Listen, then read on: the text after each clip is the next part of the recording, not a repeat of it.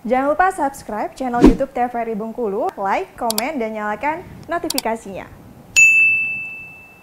Badan Pusat Statistik atau BPS Provinsi Bengkulu menyebutkan bahwa inflasi sebesar 0,60 persen di kota Bengkulu pada bulan Juni lalu disumbang oleh komoditas cabai merah dan komoditas bawang merah.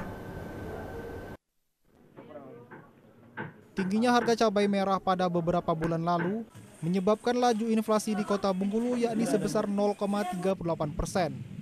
Diikuti komoditas bawang merah yang turut menyumbang inflasi sebesar 0,8 persen.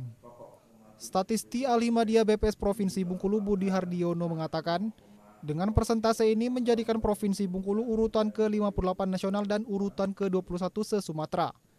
Adapun inflasi secara tahunan di Kota Bengkulu tercatat sebesar 4,35 persen.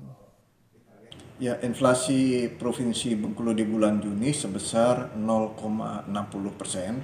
Ini tidak terlalu jauh uh, bila dibandingkan dengan inflasi nasional yang juga angkanya mirip sebesar 0,61 persen. Ya.